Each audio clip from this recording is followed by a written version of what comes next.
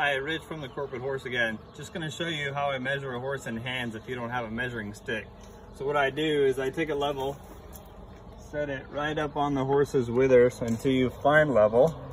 Go from the ground up to the level. So this shows Mr. Coors 61 inches. So a hand is four inches. That would make him 15-1.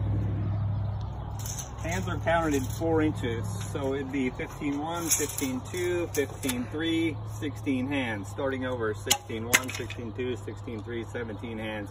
If you don't have a level or another person to help you, you can also go from the ground up and just estimate at the top of the wither. Pretty close, 15-1.